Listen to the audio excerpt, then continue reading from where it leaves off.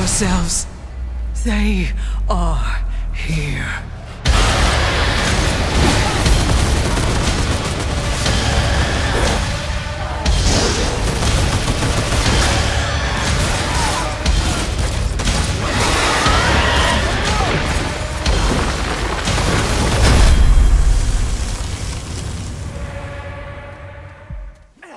Salut tout le monde, c'est X-Rouge et aujourd'hui on se retrouve pour le test de Remnant from the Ashes sur PlayStation 4, édité et développé par Gunfire Games, plus connu pour avoir développé la saga des Darksiders, sortie officielle le 20 août 2019 et Peggy nous le déconseille au moins de 16 ans.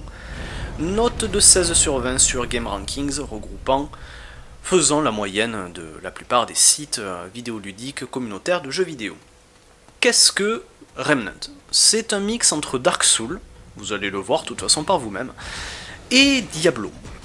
Là, j'ai voulu lancer un mode multijoueur, donc on est euh, plusieurs, là on est deux, le troisième n'a pas fini de charger, j'ai l'impression, et le deuxième se fait buter, c'est génial, je suis déjà tout seul. On est dans un donjon, et je vois que je perds de la vie alors que je me fais pas toucher.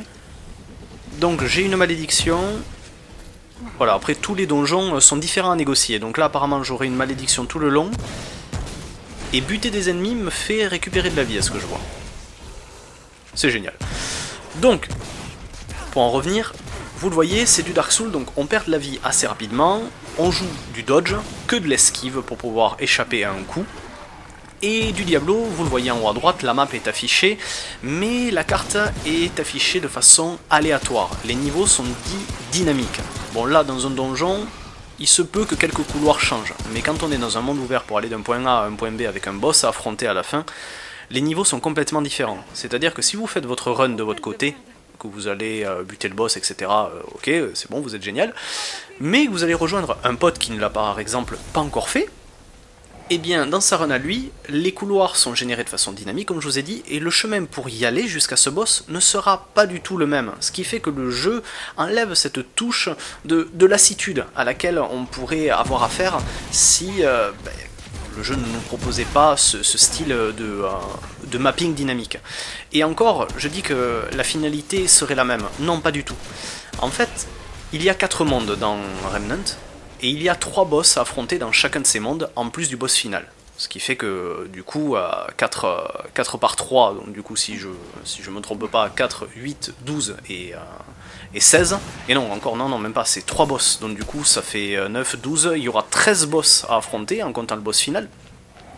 Mais, je, me, je fais un lapsus en augmentant le nombre, parce que justement, il y a certes 3 boss à affronter pour terminer le monde, mais dans chaque monde, apparemment, d'après ce que j'ai lu, il y a au minimum 6 boss différents par monde. Donc faites le calcul, il vous faudra au minimum, avec énormément de chance, faire le jeu deux fois pour avoir tous les boss. Pourquoi le refaire? Parce que les boss ont chacun un loot qui leur est unique. Si vous voulez faire le jeu à 100%, il faudra relancer votre jeu en New Game Plus. Comme je vous ai dit, 6 boss minimum. C'est-à-dire que dans certains modes, dans certains modes euh, imaginons qu'il y en ait 7, eh bien vous devez faire au moins un New Game Plus 3 pour pouvoir terminer le jeu en entier, en espérant que tous les boss euh, que vous aurez affrontés dans tous ces New Game Plus ne sont pas des boss que vous aurez précédemment fait.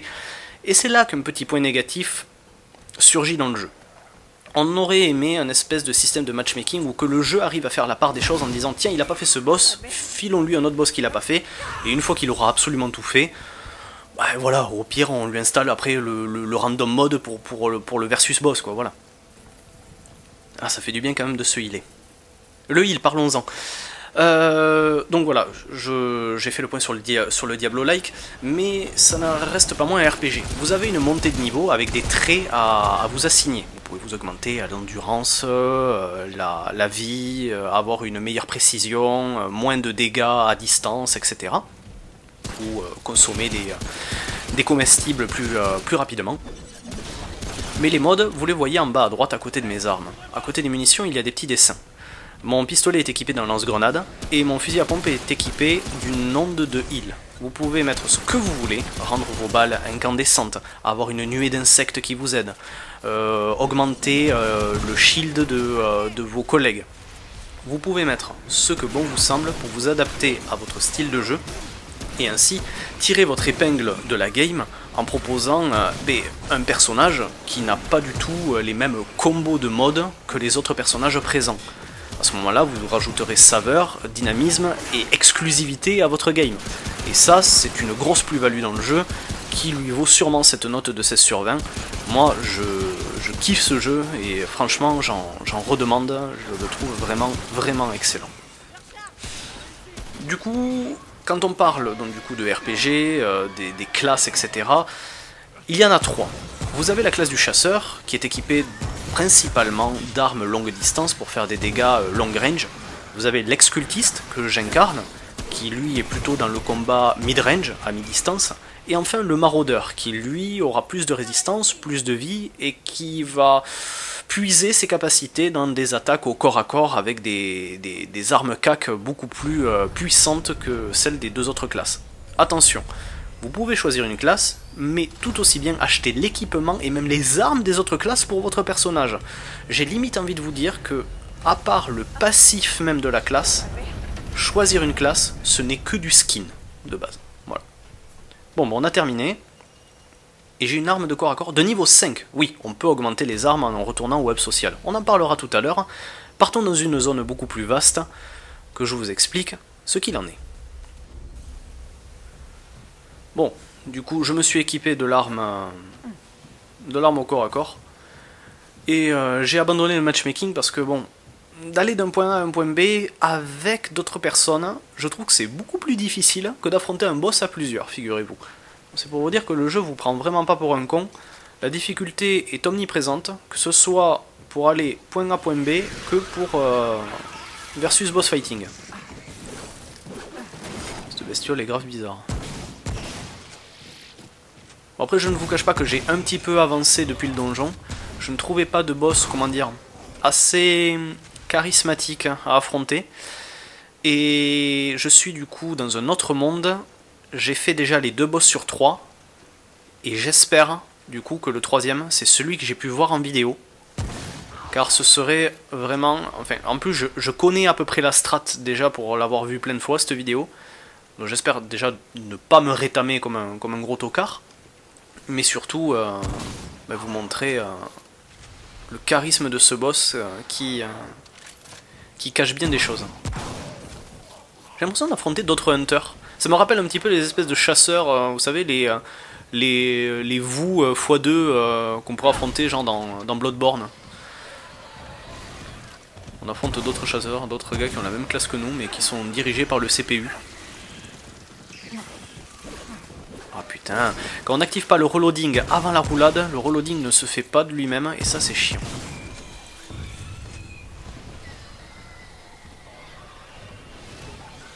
Allez, dégage. Ça c'est drôle à faire parce que ça se one shot d'un coup. Voilà. Je me suis mis un, les pas de l'ombre. C'est-à-dire que quand je suis accroupi, les ennemis me verront un peu moins. Enfin, m'entendront moins. Qu'est-ce que c'est ce truc? Oh comme il m'a déreinté la race. Oui, il te jette le marteau. Ah putain, il y a un boss qui fait ça. Dans l'ancien monde, euh, il y avait un autre boss qui te jetait le marteau dans la gueule. Il s'appelle le boucher. Peut-être que vous l'avez vu en vidéo. Vous tapez au pire Butcher Remnant, euh, vous le trouverez. Il est gros et gras, c'est dégueulasse.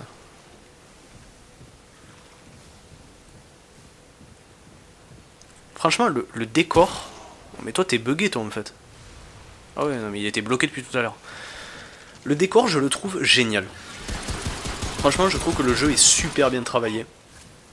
Après, on est dans une zone dite ouverte, dès que j'ai mal choisi mon record à ce moment-là, parce que là on est vraiment, euh, on est vraiment dans un lieu plutôt confiné. Mais bon, après vous voyez le principe. Ça, reste voilà du, Diablo ou du Dark Soul-like. Faut, faut buter des, quelques, quelques mobs avant d'arriver à un gros pour continuer dans le jeu. Mais le fait déjà que ce soit en TPS, c'est génial. Je trouve ça, je trouve ça top. C'est un mode qui lui va, qui lui convient très bien. Mais après, euh, comment vous dire, Remnant tire sa difficulté dans le fait de un faux move de votre part et vous êtes vite euh, submergé par la situation en fait. Euh, vous pouvez prendre un petit retard, c'est-à-dire que genre vous n'avez pas pu vous healer à temps. Il vous manque une balle pour terminer quelqu'un. Et là, vous allez engranger une espèce de, un espèce de, retard. Euh, vous allez rentrer dans une sorte de, spirale, vous voyez, et qui va vous faire prendre un retard qui est qui peut vous amener souvent à la mort. Donc du coup, il faut vraiment agir avec minutie. Si vous pouvez observer, avoir un lieu pour regarder combien d'ennemis il y a, pour pouvoir à peu près jauger, euh, juger de la situation et euh, agir en conséquence, faites-le. Euh, le jeu vous semblera beaucoup plus simple. Qu'est-ce que c'est que C'est quoi ce machin Et quand je reste à côté, je prends du corrosif, quoi. Génial. Il y a un autre tocard qui me tire dessus. Hein. Par contre, les ennemis, quand ils, quand ils vous frappent, et s'il y a un ennemi juste à côté de vous, eh ben, l'ennemi prend le coup de l'autre ennemi en fait. Donc euh, il y a le tir allié chez les ennemis, et ça c'est drôle. Vous pouvez souvent utiliser l'AOE des boss pour euh, flinguer les mobs qui vous entourent. Vous courez près d'un boss, il va faire l'AOE, sauf que les mobs vous pourchassent, vous courez un petit peu plus vite, vous arrivez à esquiver l'AOE du boss, et euh, tous les mobs se font, se font one shot. Ça fait un démobage assez efficace. Bon, le couloir a l'air d'être à peu près le même. Vous savez quoi je vais, euh, ben, je vais avancer. On va avancer un petit peu plus et on va aller jusqu'à jusqu'à ce boss. Après, je ne vois pas trop l'intérêt de vous montrer euh, d'autres choses. Si ce n'est, comme je vous ai dit, voilà, un autre point négatif que je pourrais rajouter, c'est euh, forcément revenir au web de base, votre, votre base, donc du coup activer votre pierre pour euh, vous, vous y téléporter, d'où le fait que c'est un, un, Dark Souls-like. Quand on active une pierre, tous les ennemis réapparaissent. Ceux que vous avez passés et ceux qui vous attendent, bon, forcément ils ne bougent pas mais euh, de façon, enfin, c'est encore une fois de plus généré de façon dynamique. Vous pouvez avoir un boss devant votre gueule, activer une pierre, et le boss n'y est plus, il est juste à quelques mètres ou derrière un mur, enfin voilà, même le placement des, personnages a changé. Donc c'est vraiment, à chaque reset, ça, ça diffère de la partie précédente, et ça c'est vraiment top. Ils sont nombreux là, fait chier, il n'y a que des distances. voilà, donc il faut forcément revenir au web pour pouvoir euh, ben, vous healer. Et ça, c'est. Euh, enfin, racheter, pardon, des, consommables plutôt. Parce que vous, est, vous pouvez toujours le faire. Putain, vous me faites chier, vous Bon, allez. On va aller jusqu'au boss. Ça fait vraiment penser à Dark Souls-like quand même, là. Passer les portes en fumée, là. Allez, voici le boss.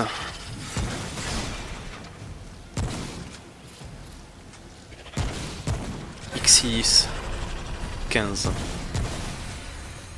Donc lui il génère des espèces de petits feux follets qu'il faut démonter. Il y en a 6 normalement, si j'ai bien compté. J'ai pas esquivé son attaque. C'est dommage parce que lui il est très facile à esquiver au niveau de sa lance parce qu'elle s'illumine. Donc déjà vous voyez quand il va attaquer et ça c'est vraiment cool. Là il va m'envoyer des bombes fumées. Non il me re-attaque d'un coup. Tu dis il en envoie deux. Ah putain. Et voilà la, petite surprise. Vous voyez euh, une autre barre de vie en haut. Et non, non, non. Vous ne vous trompez pas. Il y a bien... Voilà. Un autre boss derrière moi. Ils sont deux. C'est la joie. Allez. Donc l'autre boss c'est un petit peu reculé. Les deux ne vous attaquent pas en même temps. Enfin, si, il y en a un qui fait une attaque, enfin vous, vous allez le voir de vous-même.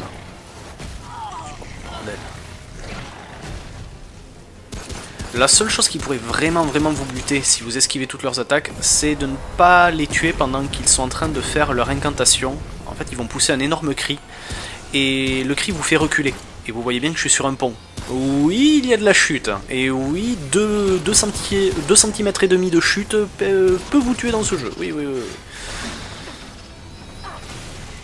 Ah ben là, là voilà. L'autre, il est en train d'attaquer avec un rayon corrosif derrière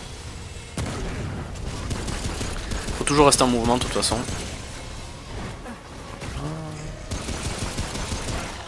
Là. On récupère les munitions par terre. Voilà, là il fait son truc. Ah putain, c'est pas passé. Ouais, normalement deux tirs suffiraient. Euh, je suis pas tombé. Quelle chatte je viens d'avoir. Aïe. Non, non, non. ouais, là je perds du temps. Vous voyez là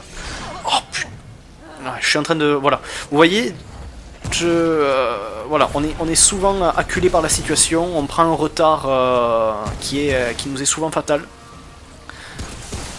Allez, allez, allez. Prends-toi un peu. C'est vrai que les feux follets derrière, euh, ils avancent pas. Le, boss les body block. Aïe Et je prends le rayon de corrosion de l'autre boss dans la gueule. Putain. Allez, X-Rouge, reprends-toi.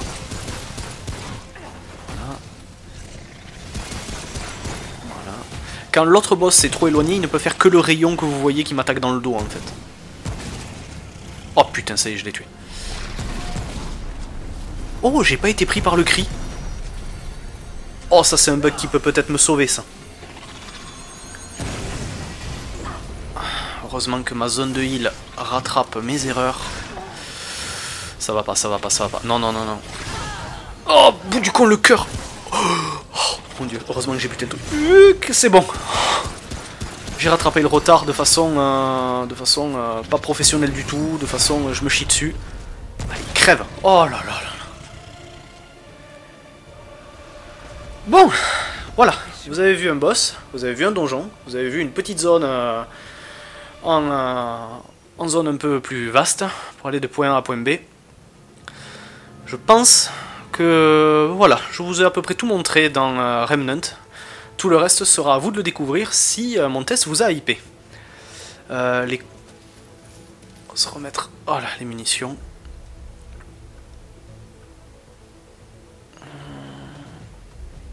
Voilà. Parce que le, corrosif, on en voit pas mal dans la gueule. Et les coffres sont là. À moi le loot.